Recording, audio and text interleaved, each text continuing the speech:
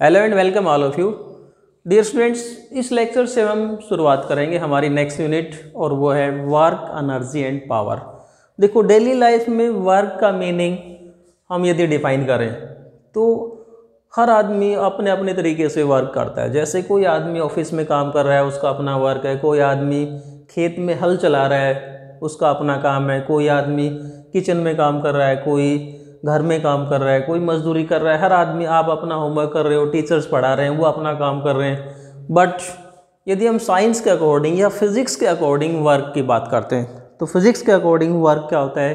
यदि हम किसी बॉडी पे फोर्स अप्लाई करें और वो बॉडी उस बॉडी में कुछ ना कुछ डिस्प्लेसमेंट प्रोड्यूस होता हो then we say that some work is done right जैसे यहाँ, अब हम डिफाइन करते हैं वर्क को कि what is the definition of work when a force is applied on a body and it covers some displacement in the line of action of force when some force is applied on a body and the body covers some displacement in the line of action of force then we say that work is done देखो इसका meaning क्या हम यहाँ बात करते हैं आपने lower classes में वर्क का जो मीनिंग पढ़ा होगा देखो किस प्रकार से पढ़ा था हम उसको याद करते हैं ये हमारे पास में कोई भी ऑब्जेक्ट है, या कोई बॉडी है, इसके ऊपर हमने फोर्स लगाया F right and displacement covered by this body due to this force is S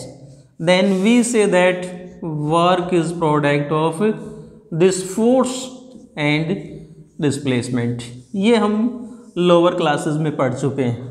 अब देखो, यहाँ पर हम वर्क की डेफिनेशन को थोड़ा सा मॉडिफाई करेंगे यहाँ पर। क्या है? अगर मान लो ये force if this force is in this direction अगर फोर्स की ये डायरेक्शन होती और डिस्प्लेसमेंट होता है इस डायरेक्शन में, जैसे हम किसी चीज़ को यूँ खींचते हैं राइट या किसी टेबल को हम पुश करते हैं यूँ राइट यहाँ से इसको यूँ पुश करते इस ब्लॉक को, या इसको यूँ धक्का मारते तो भी डिस्प्लेसमेंट होता। लेकिन इस केस में ये फोर्स और डिस्प्लेसमेंट दोनों सेम डायरेक्शन में नहीं है। तो क्या करते हैं, इस फोर्स को हम कंपोनेंट में रिजोल्व करेंगे। मान लेते हैं कि ये जो एंगल है suppose this angle is equal to theta then component of force in the direction of displacement क्या होता? एफ़ कोस थीटा राइट तो ये जो डेफिनेशन है वर्क की, अब ये क्या बनती? Work is defined as F cos theta into S right now this theta is general angle force और डिस्प्लेसमेंट के बीच में कोई भी एंगल हो। यदि फोर्स और डिस्प्लेसमेंट दोनों सेम डायरेक्शन में होते तो थीटा की वैल्यू कितनी होती? ज़ीरो कोस ज़ीरो कितना होता? है वन तो वापस हमारी यही डेफिनेशन आ जाती। अब यदि हम किसी भी एंगल पे फोर्स लगाएँगे तो हमारे पास में डेफिनेशन क्या आएगी? Work is equal to F cos theta into S that is component of force in the direction of displacement and displacement यहाँ से हमने कैसे डिफाइन किया वर्क को? कि work is product of component of force in the direction of displacement and displacement right now we know that force and displacement both are vector quantities right और दोनों के बीच में फोर्स और डिस्प्लेसमेंट के बीच में एंगल थीटा है। आप याद करो डॉट प्रोडक्ट की प्रॉपर्टी ए डॉट बी क्या होता है? A B cos theta so हमारे पास में यहाँ पर क्या लिखा है? Work is equal to F cos theta into S इसको हम क्या लिख सकते हैं? एफ़ एस कोस थीटा और we can say that work is dot product of force and displacement इस रिलेशन को हम क्या कर सकते हैं? एफ़ डॉट एस सो हमारे पास में वर्क की नई डेफिनेशन क्या आ गई work is defined as dot product of force and displacement this is new definition right so अब ये जो डेफिनेशन है, ये हाँ किसी भी केस के लिए अप्लीकेबल है। थीटा की वैल्यू कुछ भी हो। ज़ीरो से लेके वन एटी तक कोई भी थीटा की वैल्यू हो, हम थीटा की वैल्यू पुट कर देंगे। उसी के अकॉर्डिंग हमारे पास में क्या आ जाएगा वर्क अब देखो वर्क को हमने यूँ डिफाइन किया है। कि work is dot product of force and displacement इसका मतलब वर्क क्या होना चाहिए? Scalar quantity because dot product of two vectors is a scalar quantity so work is also a scalar quantity यदि मान लो हमारे पास में force if force is in the form of fx plus fx i plus fyj plus Z K अगर force को हम इस प्रकार से रेक्टेंगुलर कंपोनेंट्स की फॉर्म में लेते हैं कोऑर्डिनेट्स की टर्म में राइट और डिस्प्लेसमेंट क्या होता? Vector S is equal to X I plus Y J plus Z K then what will be the work इस केस में हमारे पास में वर्क क्या आता है? इन दोनों का dot product that is F X I plus F Y J plus F Z K dot X I plus Y J plus Z K and we know that dot product हम कैसे निकालते हैं? आई आई वाले कोफिशिएंट मल्टीप्लाई करते हैं जे जे वाले coefficient और के के वाले कोफिशिएंट एक्स को किससे मल्टीप्लाई कर देता हूँ? एफ़ एक्स से।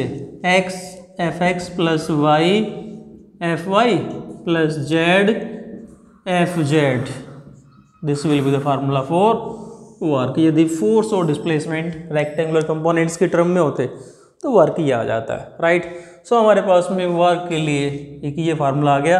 अब ये जो डेफिनेशन है कि when a force is applied on a body and the body covers some displacement in the line of action of force right?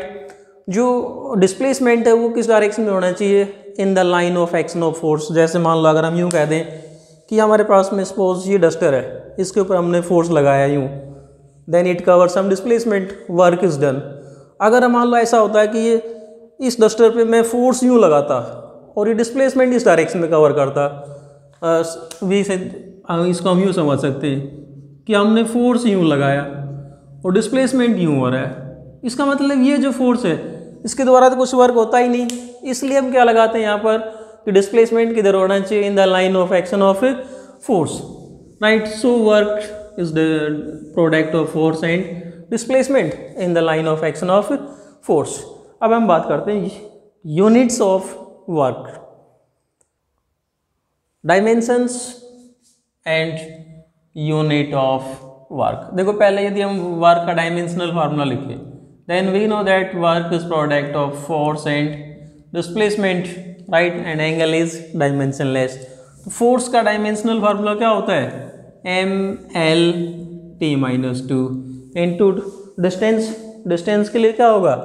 L so what will be the dimensional formula of work dimensional formula of work is M L two T minus two this will be the dimensional formula of work अब बात करते हैं units units of work तो work के जो unit होते हैं they are of two types जैसा हमने आपको याद होगा फोर्स की दो प्रकार की यूनिट्स को हमने डिफाइन किया था absolute unit and gravitational unit right absolute unit और दूसरा कौन सी डिफाइन की थी?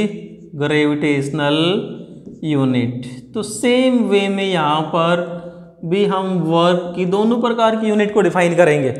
पहले बात करते हैं absolute unit right absolute unit absolute में S I unit what will be the S I unit of work absolute S I unit देखो यहाँ से शुरू करते हैं। Work is product of force and displacement we know that force force की ऐसा unit क्या होती है? न्यूटन और डिस्प्लेसमेंट डिस्टेंस है। और डिस्प्लेसमेंट की ऐसा यूनिट क्या होती है? मीटर सो so, वर्क को हम one joule work is said to be one joule if if you apply a force of one newton यदि हम किसी बॉडी पे वन न्यूटन फोर्स अप्लाई करें और डिस्प्लेसमेंट कितना हो? वन मीटर सेम डायरेक्शन में. जैसे मान लो हमारे पास में ये ऑब्जेक्ट है राइट right? इस ऑब्जेक्ट पे हम क्या करें?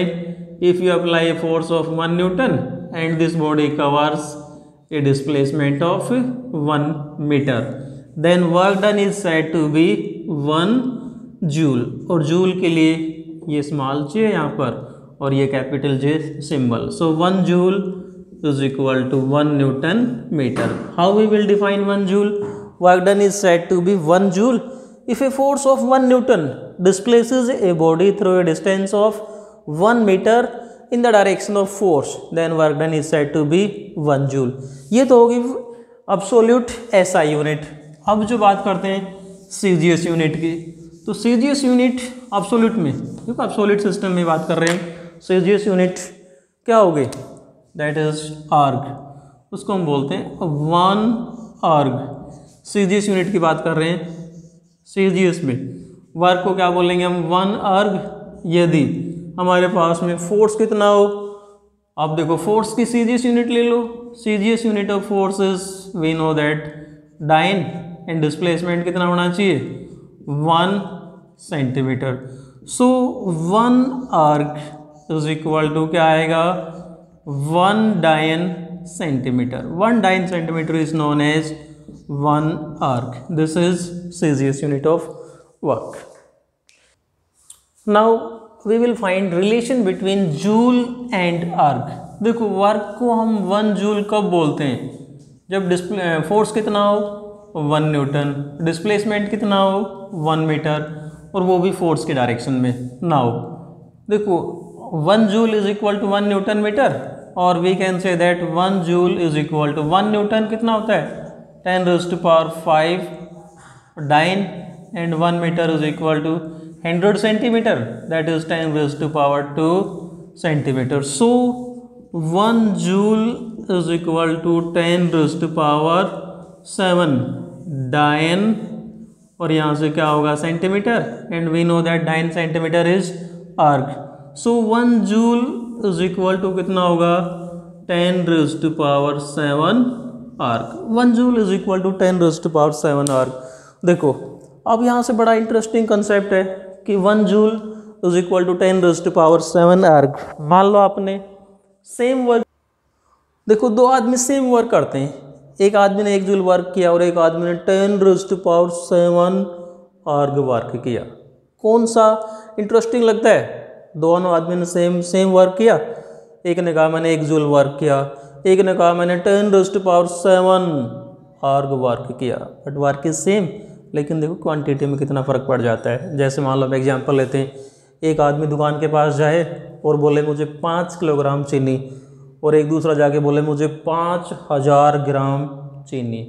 बट क्वांटिटी ऑफ़ चीनी is same so this is the relation between joule and erg अब हम बात करते हैं nature of work nature of work पे जाने से पहले हम वर्क की ग्रेविटेशनल यूनिट है, उसको डिस्कस करते हैं ग्रेविटेशनल यूनिट आप याद करो अब्सोल्यूट और ग्रेविटेशनल में क्या डिफरेंस होता है? जहाँ हम अब्सोल्यूट की बात करते हैं, वहाँ पर ग्रेविटी फैक्टर का कोई रोल नहीं होता है। ग्रेविटेशनल यूनिट में हम किसको काउंट करते हैं? इफ़ेक्ट ऑफ़ ग्रेविटी को काउंट करते हैं। Then we know that work work is product of force and displacement right अब ग्रेविटेशनल में भी हम दोनों यूनिट को डिस्कस करेंगे एस आई को भी और सी जी एस को भी। तो एस आई में वर्क की जो ग्रेविटेशनल यूनिट होती है, उसको हम बोलते हैं वन किलोग्राम मीटर। वर्क को क्या बोलेंगे हम? One kilogram metre. यदि फोर्स कितना हो? If force is one kilogram force right and displacement is one metre. Right आपको याद होगा फोर्स की जो ग्रेविटेशनल यूनिट क्या होती है? Kilogram force and we know that one kilogram force कितना होता है? Nine point eight newton so we can say that one kilogram metre is equal to one kilogram force किसके बराबर होगा? Nine point eight newton and this is one metre so we can say that one kilogram metre is equal to nine point eight newton metre को हम क्या कहते हैं? Joule this is the relation between gravitational and absolute unit this is gravitational SI unit this is absolute SI unit one kilogram metre is equal to nine point eight joule in the same way we will discuss C G S unit gravitational में work की C G S unit को discuss करते हैं। देखो हम work को आप कितना, क्या बोलेंगे? Gram centimetre. पहले क्या क्या कहा था हमने? Kilogram metre. आप क्या बोलेंगे? Gram centimetre. कब बोलेंगे? यदि फोर्स हमारे पास में कितना हो? वाट पहले फोर्स कितना था? वन किलोग्राम फोर्स अब फोर्स हमें कितना लेना है? वन ग्राम फोर्स फोर्स कितना होना चाहिए? वन ग्राम फोर्स और डिस्प्लेसमेंट कितना हो? One centimetre and we know that one gram force is equal to नौ सौ अस्सी dyne so one gram centimetre is equal to इसको क्या बोलेंगे हम? नौ सौ अस्सी dyne into one centimetre. And we know that dyne centimetre is erg so one gram centimetre is equal to nine eighty erg now we will discuss nature of work या types of work देखो we know that work is a scalar quantity and it is defined as dot product of force and displacement और यू कहते हैं कि work is equal to F S cos theta now depending on this theta work is of three type positive work negative work या फिर zero work देखो first nature है work को हम कब वर्क को क्या कहते हैं? पॉजिटिव वर्क या वर्क डन पॉजिटिव कब आएगा? If theta is less than 90 और लेस देन 90 को हम क्या कहते हैं? Acute if angle between force and displacement is less than 90 degree then in that case जो भी वर्क होगा, वो क्या होगा? पॉजिटिव होगा. जैसे सिंपल से एग्जांपल लेते हैं हम। सपोज़ ये हमारे पास में कोई टेबल या चेयर एनी ऑब्जेक्ट और इसको हमने पुश किया। यहाँ हमने फोर्स लगाया। और इस टेबल को पुश करके यहाँ ले आते हैं। Then force and displacement are in the same direction यहाँ पर थीटा कितना हुआ? Theta is zero less than 90 degree so work क्या आएगा? In this case work is positive right इसी प्रकार से मान लो, यहाँ से हम किसी ऑब्जेक्ट को यहाँ से ड्रॉप कर देते हैं। किसी ऑब्जेक्ट को ड्रॉप किया। राइट देन ग्रेविटेशनल फोर्स यहाँ यदि हम बात करें ग्रेविटेशनल फोर्स की if you drop some object gravitational force acts in downward direction displacement is also in downward direction इसका मतलब when an object is dropped then work done by gravitational force is positive right देखो, ध्यान रखना इस बात का gravitational force के द्वारा वर्क नेगेटिव भी हो सकता है, कब? यदि किसी बॉडी को हम ऊपर की तरफ़ थ्रो करेंगे तो उस केस में वर्क नेगेटिव होगा, उसको भी हम डिस्कस करेंगे, लेकिन यहाँ क्या बता रहा हूँ मैं, यदि हम किसी बॉडी को ड्रॉप करते हैं ड्रॉप करेंगे तो ग्रेविटेशनल फोर्स क्या होगा, नीचे की तरफ़ डिस्प्लेसमेंट नीचे की तरफ़ थीटा कितना हो गया ज़ीरो वर्क क्या होगा पॉजिटिव राइट और एग्ज़ाम्पल हम लेते हैं, जैसे कभी आपने देखा होगा लान रोलर की बात करते हैं, या क्रिकेट ग्राउंड में पिच को समतल करने के लिए हम जो रोलर का यूज़ करते हैं when a lawn roller work done by this lawn roller देखा होगा, आपको याद होगा, इसके ऊपर हम फोर्स यूँ लगाते हैं और डिस्प्लेसमेंट इस डायरेक्शन में। Angle is theta then work done by this lawn roller is positive in the same way और एग्ज़ाम्पल लेते हैं। Work done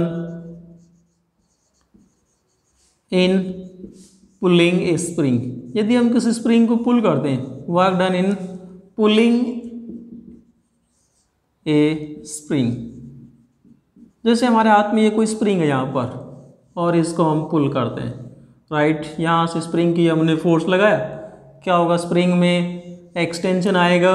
किस डायरेक्शन में? In the direction of force so force and displacement again are in the same direction so इस case में work क्या होगा? Positive work होगा। Right second type is negative work work को हम नेगेटिव कब बोलेंगे?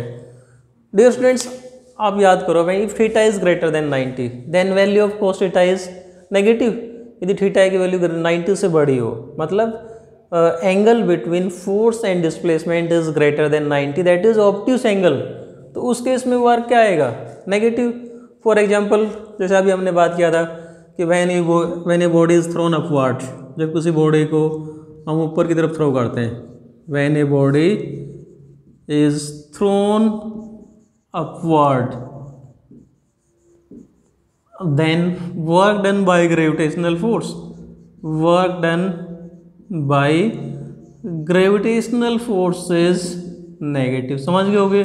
किसी बॉडी को जब हम ऊपर की तरफ़ थ्रो करते हैं देन डिस्प्लेसमेंट किस डायरेक्शन में होगा? ऊपर की तरफ़। ग्रेविटेशनल फोर्स किधर है?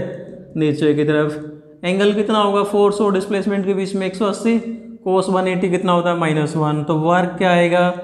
Negative in the same way work done by frictional force जैसे हम फ्रिक्शनल फोर्स के द्वारा वर्क निकालें। सपोज़ ये हमारे पास में कोई ऑब्जेक्ट है। This is applied force and force of friction is opposite to applied force right इस डायरेक्शन में हमने फोर्स लगाया। ऑब्जेक्ट ने कुछ ना कुछ डिस्प्लेसमेंट कवर भी कर लिया। एस इज़ डिस्प्लेसमेंट लेकिन फ्रिक्शनल फोर्स इसके अपोजिट है। तो अगेन फोर्स और डिस्प्लेसमेंट दोनों अपोजिट डायरेक्शन में वर्क क्या आएगा? नेगेटिव उसी प्रकार से और एग्जांपल लेते हैं। जैसे work done by electrostatic force electrostatic force हमारी नेक्स्ट हायर क्लासेस में आएगा। यहाँ हम बात करते हैं, जैसे ये हमारे पास में एक पॉजिटिव चार्ज Q1 और ये कोई दूसरा पॉजिटिव चार्ज Q2 यदि इस पॉजिटिव चार्ज को हम इस नेगेटिव चार्ज के नज़दीक लेके चलते हैं तो क्या होगा? इन दोनों के बीच में रिपल्शन तो रिपल्सिव फोर्स लगेगा इस डायरेक्शन में। क्या हुआ? Repulsive force in this direction इसको हम पुश कर रहे हैं इस डायरेक्शन में तो फोर्स और डिस्प्लेसमेंट दोनों अपोजिट हो गए। Then again work done by this repulsive force is negative work देखो थर्ड टाइप है, उसको हम बोलते हैं zero work work done is zero कब होगा? देखो यहाँ से। If theta is equal to 90 degree then we know that cos 90 is zero इसका मतलब यदि फोर्स और डिस्प्लेसमेंट दोनों के बीच में एंगल कितना हो? 90 हो। तो उस केस में वर्क कितना आएगा? ज़ीरो वर्क होगा। Right right? जैसे इसके एग्जांपल लेते हैं। For example work done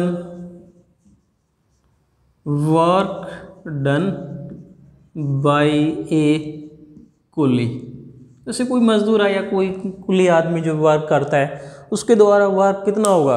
जैसे यहाँ बात करते हैं, यहाँ पर कोई मजदूर है। इसने अपने सर पे वेट ले रखा है, वज़न उठा रखा है, और चल यूँ रहा है। तो ये आदमी क्या कर रहा है? इस वेट को सपोर्ट कर रहा है ऊपर की तरफ़ मतलब वेट पे फोर्स लगा रहा है ऊपर की तरफ़, चल ही हो रहा है। फोर्स और डिस्प्लेसमेंट के बीच में एंगल कितना हो गया? 90 वर्क कितना हुआ? ज़ीरो लेकिन डियर स्टूडेंट्स कभी किसी मज़दूर से वर्क करवा के और उसको शाम को फिज़िक्स मत समझाना कि आपने ज़ीरो वर्क किया है ज़ीरो पेमेंट होगी। क्योंकि पूरा दिन वर्क करेगा, वो डेली लाइफ में वर्क फिज़िक्स के अकॉर्डिंग वर्क उसने कितना किया है? ज़ीरो बट डेली लाइफ में उसने वर्क किया है। So work done by equal is zero और let us take some more example if displacement is zero यदि मान लो हम जैसे कोई आदमी किसी दीवार को धक्का मारने लग जाए, सुबह से लेकर शाम तक किसी दीवार को धक्का मारता रहे, थक के चूर हो गया, लेकिन उस दीवार में कोई डिस्प्लेसमेंट नहीं आया। हालाँकि आदमी ने पूरे दिन कोशिश भी की but there is no displacement तो उस केस में भी वर्क कितना हो गया? ज़ीरो सो ज़ीरो वर्क के लिए हमारे पास में दो कंडीशन है। या तो बॉडी में कोई डिस्प्लेसमेंट ही नहीं आए, या फिर एंगल कितना हो? ज़ीरो हो जैसे और एग्ज़ाम्पल लेते हैं हम ज़ीरो वर्क के लिए।